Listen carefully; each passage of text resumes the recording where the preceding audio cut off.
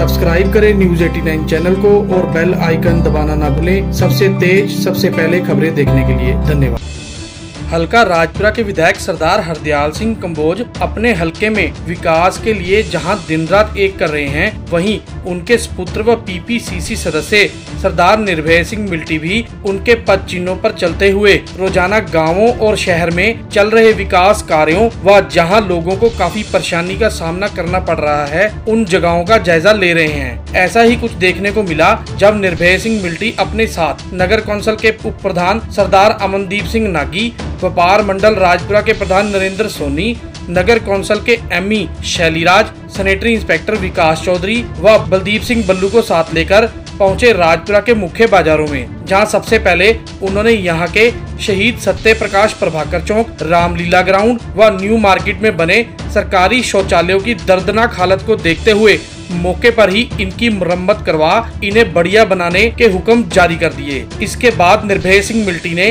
जहां मुख्य बाजारों में चल रहे कामों का निरीक्षण किया वहीं उन्होंने न्यू मार्केट के दुकानदारों को आ रही परेशानियों के बारे में भी विचार विमर्श किया आइए पहले आपको सुनाते हैं कि क्या कहते हैं न्यू मार्केट के दुकानदार ਜੀ ਆਏ ਆ ਨਿਊ ਮਾਰਕੀਟ ਵਿੱਚ ਬੜੀ ਖੁਸ਼ੀ ਹੋਈ ਹੈ ਇਹਨੇ ਦੌਰਾ ਕੀਤਾ ਬਾਜ਼ਾਰ ਦਾ ਸਾਡੀ ਸਮੱਸਿਆ ਸੁਣੀ ਹੈ ਤੇ ਸਾਰਿਆਂ ਸਮੱਸਿਆ ਦਾ ਸੰਵਿਧਾਨ ਕਰਾਉਣ ਦਾ ਇਹਨਾਂ ਨੇ ਬੜਾ ਉਹ ਕੀਤਾ ਹੈਗਾ ਤੇ ਐਮਐਲਏ ਸਾਹਿਬ ਦੇ ਅਸੀਂ ਬੜੇ ਆਭਾਰੀ ਹਾਂ। ਜਦ ਦੇ ਵੀ ਉਹ ਐਮਐਲਏ ਸਾਹਿਬ ਰਾਜਪੁਰੇ ਆਏ ਹੈ ਕੋਈ ਇੰਸਪੈਕਟਰ ਹੋਏ ਕੋਈ ਕੁਝ ਹੋਵੇ ਅੱਜ ਤੱਕ ਕਿਸੇ ਦੁਕਾਨਦਾਰ ਨੂੰ ਕਿਸੇ ਵਪਾਰੀ ਨੂੰ ਤੰਗ ਨਹੀਂ ਕੀਤਾ ਹੈਗਾ। ਸਭ ਉਹਨਾਂ ਦੇ ਸਹਿਯੋਗ ਨਾਲ ਬਹੁਤ ਅੱਛਾ ਵਪਾਰ ਵਧੀਆ ਬੁਲਿਆ ਇਹ ਜਿਹੜੀ ਸਮੱਸਿਆ ਸੀ ਤੁਹਾਡੀ ਕਿੰਨੇ ਟਾਈਮ ਤੋਂ ਸੀ ਸਰ ਇਹ ਕਾਫੀ ਟਾਈਮ ਤੋਂ ਹੈਗੀ ਹੈ। ਬਹੁਤ ਟਾਈਮ ਤੋਂ ਹੈ ਮੇਰੇ ਖਿਆਲ ਐਵਰੇਜ 10-15 ਸਾਲ ਤੋਂ। ਪਹਿਲਾਂ ਕਦੀ ਤੁਸੀਂ ਜਿਹੜੀ ਸਰਕਾਰਾਂ ਸੀਗੀਆਂ ਉਹਨਾਂ ਨੂੰ ਕਦੀ ਤੁਸੀਂ ਸਰਕਾਰਾਂ ਨੂੰ ਬੜੀ ਬੇਨਤੀ ਕਰਦੇ ਰਹੇ ਹਾਂ ਜੀ।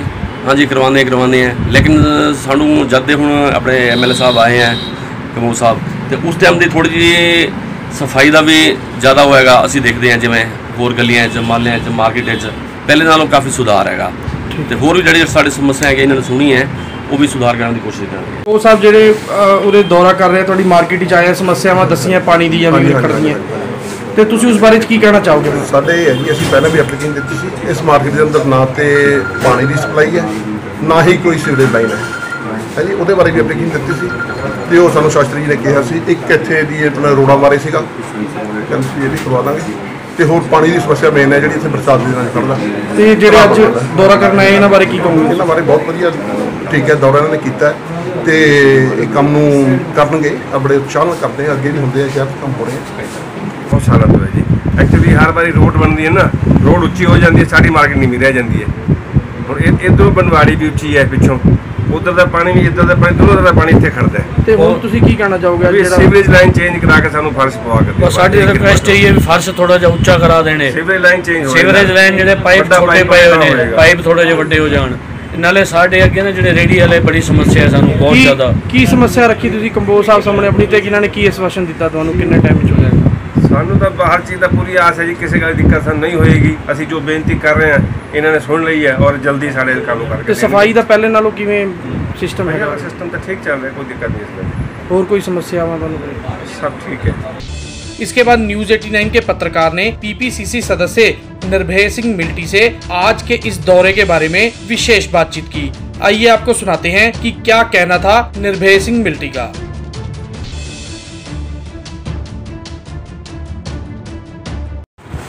ਕੰਬੋਸਾ ਸਾਹਿਬ ਤੁਸੀਂ ਜਿਹੜਾ ਬਾਜ਼ਾਰ ਦਾ ਦੌਰਾ ਕਰ ਰਹੇ ਹੋ ਅਫਸਰਾਂ ਨੂੰ ਨਾਲ ਲੈ ਕੇ, ਇਹ ਕਿਸ ਪਰਪਸ ਵਾਸਤੇ ਕਰ ਰਹੇ ਹੋ? ਕੀ ਤੁਹਾਨੂੰ ਲੋਕਾਂ ਨੇ ਉਰੇ ਸ਼ਿਕਾਇਤ ਕੀਤੀ ਤੇ ਤੁਸੀਂ ਕੀ ਦੇਖਿਆ ਜੀ ਉਰੇ ਕਿੰਨੀ ਕਮੀ ਹੈਗੀ ਇਸ ਚੀਜ਼ ਵਾਸਤੇ? ਰਾਜਪੁਰਾ ਸਿਟੀ ਦੇ ਵੱਖ-ਵੱਖ ਬਾਜ਼ਾਰਾਂ ਦੇ ਵਿੱਚ ਅੱਜ ਅਸੀਂ ਜਾ ਰਹੇ ਹਾਂ। ਕਾਫੀ ਜਗ੍ਹਾ ਤੇ ਅਸੀਂ ਵਿਜ਼ਿਟ ਵੀ ਕੀਤਾ।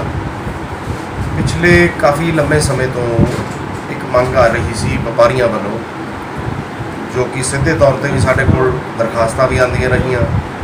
ਔਰ ਆਮ ਪਬਲਿਕ ਦੇ ਵੀ ਇਹ ਮੰਗ ਸੀਗੀ ਕਿਉਂਕਿ ਸ਼ਹਿਰ ਦੇ ਵਿੱਚ, ਰਾਜਪੁਰਾ ਦੇ ਵਿੱਚ ਯੂਰੀਨਲਸ ਟਾਇਲਟਸ ਅਵੇਲੇਬਲ ਜ਼ਰੂਰ ਨੇ, ਪਰ ਉਹਨਾਂ ਦੇ ਹਾਲਾਤ ਬਹੁਤ ਜ਼ਿਆਦਾ ਮਾੜੇ ਆ। ਔਰ ਐਮਐਲਏ ਸਾਹਿਬ ਦੇ ਨਾਲ ਪਾਰਲੀਮੈਂਟਲ ਦੇ ਸਾਡੇ ਪ੍ਰਧਾਨ ਨੇ, ਸੋਨੀ ਜੀ, ਇਹਨਾਂ ਨੇ ਵੀ ਗੱਲ ਕੀਤੀ, ਹੋਰ ਕਾਫੀ ਵਪਾਰੀਆਂ ਨੇ ਗੱਲ ਕੀਤੀ। ਉਹਨਾਂ ਨੇ ਹਦਾਇਤ ਕੀਤੀ, ਉਹਨਾਂ ਦੇ ਹੁਕਮ ਅਨੁਸਾਰ। ਅੱਜ ਸਾਡੇ ਐਮਪੀ ਸਾਹਿਬ ਸ਼ੈਲੀਰਾਜ ਜੀ ਸਾਡੇ ਨਾਲ ਨੇ, ਵਿਕਾਸ ਚੌਧਰੀ ਜੀ, ਸੈਨਿਟਰੀ ਇੰਸਪੈਕਟਰ, ਮਾਨਯੋਗ ਸਾਡੇ ਵਾਈਸ ਪ੍ਰੈਜ਼ੀਡੈਂਟ ਨਗਰ ਕੌਂਸਲ ਦੇ ਅਮਨਦੀਪ ਲਾਗੀ ਜੀ। ਸਾਰੀ ਸਾਡੀ ਸਮੁੱਚੀ ਟੀਮ ਉਹਨਾਂ ਨੇ ਜਿਸ ਤਰੀਕੇ ਐਮਐਲਏ ਸਾਹਿਬ ਨੇ ਸਾਨੂੰ ਹੁਕਮ ਕੀਤਾ, ਉਸ ਤਰੀਕੇ ਅਸੀਂ ਵਿਜ਼ਿਟ ਕਰ ਰਹੇ ਹਾਂ ਅੱਜ। ਟਾਇਲਟਸ ਅਸੀਂ ਦੇਖੇ ਆ। ਬਾਕੀ ਹੀ ਜਿਹੜੀਆਂ ਸ਼ਿਕਾਇਤਾਂ ਨੇ, ਉਹਨਾਂ ਦੇ ਵਿੱਚ ਸੁਧਾਰ ਕਰਨ ਦੀ ਲੋੜ ਹੈ।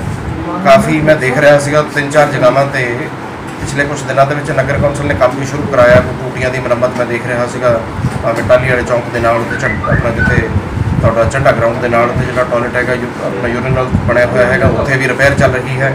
ਤੇ ਕਪਲ ਆਫ ਅਦਰ ਪਲੇਸਸ ਕੁਝ ਕੁ ਜਗ੍ਹਾਵਾਂ ਤੇ ਜਿਹੜੀਆਂ ਕੋਈ ਕਮੀਆਂ ਪੇਸ਼ੀਆਂ ਸੀਗੀਆਂ ਤੇ ਉਹ ਸੰਬੰਧਿਤ ਅਧਿਕਾਰੀਆਂ ਨੂੰ ਅਸੀਂ ਦੱਸਿਆ ਤੇ ਮੈਨੂੰ ਉਮੀਦ ਹੈ ਵੀ ਐਮਐਲਏ ਸਾਹਿਬ ਦੇ ਨਾਲ ਅਸੀਂ ਗੱਲ ਕਰਾਂਗੇ ਮੈਨੂੰ ਉਮੀਦ ਹੈ ਵੀ ਬਹੁਤ ਜਲਦੀ ਇਹਨਾਂ ਜਿਹੜੀ ਪ੍ਰੋਬਲਮਸ ਨੇ ਇਹਨਾਂ ਨੂੰ ਅਸੀਂ ਆਊਟ ਕਰ ਦਾਂਗੇ।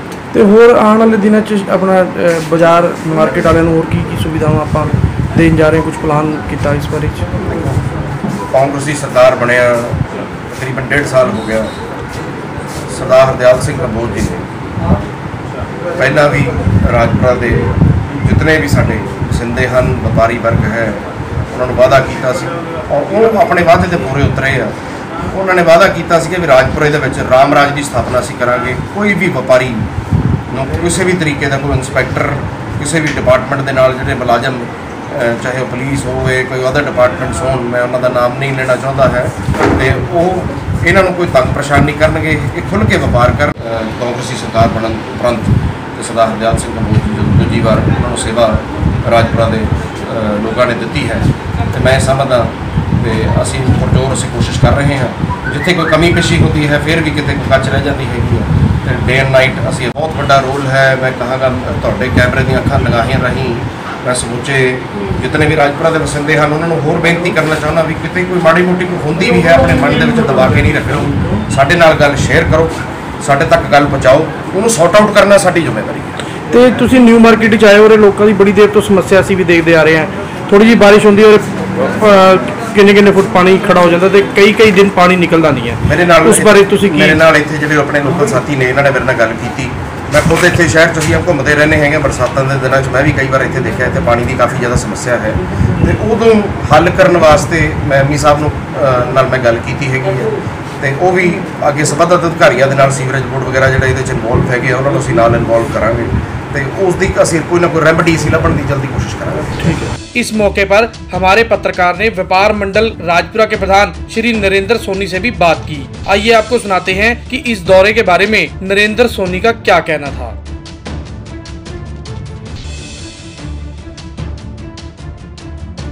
ਤੁਹਾਨੂੰ ਅਸੀਂ ਮਿੱਟੀ ਦੇ ਨਜ਼ਰ ਜਾਂਦਾ ਸੀਗਾ ਕਿ ਪਿਆਰਾਂ ਦੇ ਜਿਹੜੇ ਬਾਥਰੂਮ ਹੈ ਬੜੇ ਬੁਰੇ ਹਾਲ ਨੇ ਪਰ ਉਹਨਾਂ ਨੇ ਨਾਲ ਦੇ ਨਾਲ ਹੀ ਸਾਡੇ ਨਾਲ ਮਤਲਬ ਚੱਲ ਕੇ ਖੁਦ ਆਪ ਆਏ ਨੇ ਮਾਰਕੀਟ ਦੇ ਵਿੱਚ ਦੇਖਣ ਵਾਸਤੇ ਨਾਲ ਹੀ ਐਮਈ ਸਾਹਿਬ ਨੂੰ ਲਿਆਂਦਾ ਹੈ ਉਹ ਸਾਰੇ ਕੰਮ ਨਾਲ ਦੇ ਨਾਲ ਸ਼ੁਰੂ ਕਰਵਾਤੇ ਨੇ ਔਰ ਇਹਨਾਂ ਨੇ ਜਿਹੜੇ ਕੰਮ ਰੁਕਦੇ ਨੇ ਉਹ ਵੀ ਕਰਵਾ ਰਹੇ ਨੇ ਤੇ ਉਹ ਜਿਸ ਤਰ੍ਹਾਂ ਸਾਨੂੰ ਪਤਾ ਕਿ ਐਮਐਲਏ ਸਾਹਿਬ ਆਏ ਨੇ ਸਾਡੇ ਵਪਾਰੀ ਵੀ ਬਹੁਤ ਜ਼ਿਆਦਾ ਖੁਸ਼ ਹਨ ਤੋਂ ਕਿਸੇ ਕਿਸਮ ਦੀ ਕੋਈ ਦਿੱਕਤ ਪਰੇਸ਼ਾਨੀ ਨਹੀਂ ਆ ਰਹੀ ਐਮਐਲਏ ਸਾਹਿਬ ਸਾਨੂੰ ਬਹੁਤ ਸਹਿਯੋਗ ਦੇ ਰਹੇ ਨੇ ਮਿੱਟੀ ਸਾਨੂੰ ਪੂਰਾ ਸਹਿਯੋਗ ਦੇ ਰਹੇ ਨੇ ਕਮੇਟੀ ਸਾਨੂੰ ਪੂਰਾ ਸਹਿਯੋਗ ਦੇ ਰਹੀ ਹੈ ਸਾਡੇ ਜੋ ਸਾਰੇ ਕੰਮ ਹੁੰਦੇ ਨੇ ਸਾਡੇ ਨਾਲ ਦੇ ਨਾਲ ਸਾਰੇ ਕੰਮ ਪਹਿਲੇ ਤੱਕ ਹੁੰਦੇ ਨੇ